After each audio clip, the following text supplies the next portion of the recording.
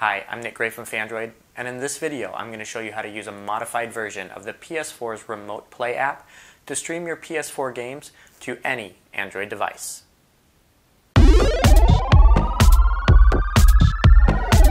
To get started, you'll need a PlayStation 4, an Android phone or tablet, a fast and reliable Wi-Fi network, and a modified version of the PS4's Remote Play app.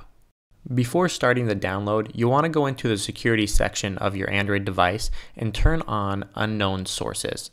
This will allow the phone to install apps which have not been downloaded through Google Play.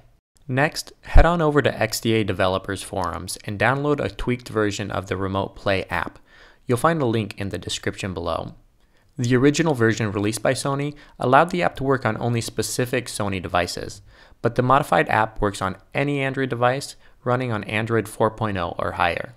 With the app downloaded, go to the download section on your device and tap on the APK file. Follow the on-screen instructions to complete the installation. Once the app opens, you'll need to click on Next and log into your PlayStation Network account. At this point, make sure your PlayStation 4 is turned on and the app will connect to your PS4 once the login process has completed.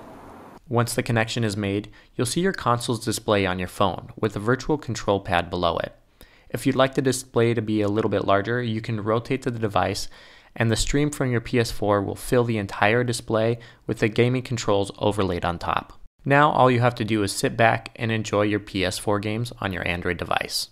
In our experience, the PS4 Remote Play app works really well, as long as you have a good Wi-Fi connection. If you do experience lag or drop frames, we recommend going into the app settings and reducing the stream quality. Naturally, playing PS4 games is going to be a lot more enjoyable sitting on a couch in front of a large screen TV. But it's nice to have the remote play option for those times when the TV is being used by someone else in the family. If you manage to get the remote play function working for your PS4 on your Android device, please leave us a comment below. Don't forget to give this video a thumbs up and subscribe to the Phandroid YouTube channel to see more videos like this as soon as they're available.